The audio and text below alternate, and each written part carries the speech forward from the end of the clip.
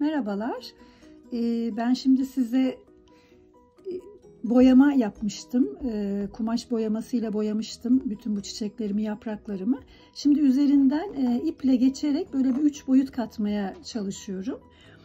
Ee, ve ip düğümsüz e, işe başlamayı da göstereceğim böylelikle. Şimdi ipimde düğüm yok. Arkadan şöyle başlıyorum. Şimdi yavaşça çevireyim. Şunu ne kadar size bırakacağımı. Yaklaşık bu kadar ipimi bırakıyorum ama tutuyorum elimle. Hiç düğüm yapmadım gördüğünüz gibi. Şöyle bir tık geriye gidiyorum. İğne ardı yapıyorum yaprağımın etrafını. İpimi hala bırakmadım. Aşağıda tutuyorum. O yüzden de şöyle geriden yapıp sonra ileriden devam edeceğim.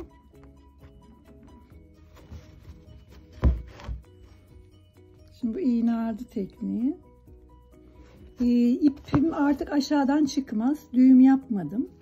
Ve ben işime devam ediyorum. İğne ardı tekniğine.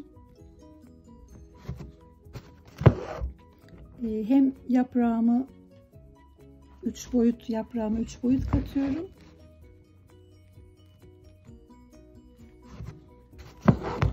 Hem de bu şekilde iple böyle yaklaşık ay eşit aralıklarla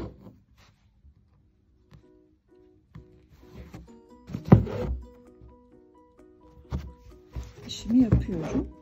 Ee, ben bunu bu şekilde devam edeceğim.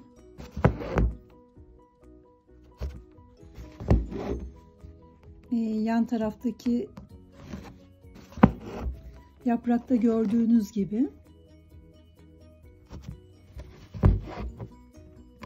yukarıya kadar çıkayım.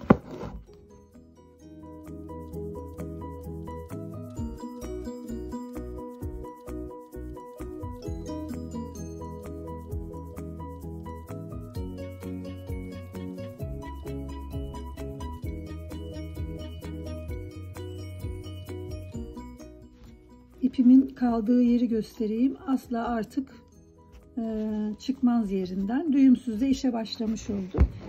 E, onu daha sonra keseceğim. Arkası da temiz olmuş olacak.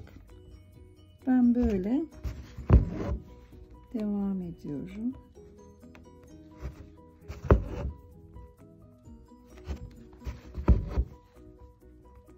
E, forma göre, yaprağın formuna göre e, etrafında dolanıyorum.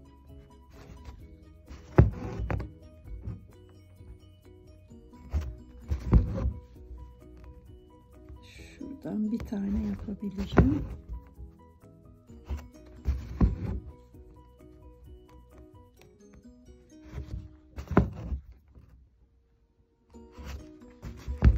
Ve daha sonra dallarla devam edeceğim ortasını.